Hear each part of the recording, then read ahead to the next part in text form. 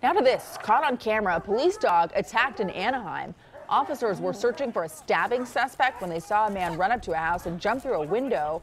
When he finally agreed to come out, so did that large dog. It charged the police canine. An officer zapped the dog with a taser and it took off. Both of the dogs are okay. The suspect, as you see here in this video, was arrested. It turns out he had nothing to do with the stabbing. He ran because he was a parolee at large. He is now back in jail. Wow.